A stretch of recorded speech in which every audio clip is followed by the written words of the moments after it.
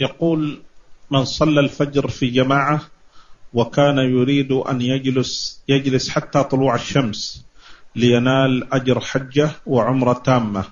ولكن إذا صادفته صلاة الجنازة هل يقوم من مجلسه ليصلي على الجنازة ويكون بذلك قد نال الأجر أيضا؟ اي نعم يقوم ويصلي مع الناس على الجنازة ويرجع إلى مكانه ويجلس فيه. يرجع إلى مكانه ويجلس فيه.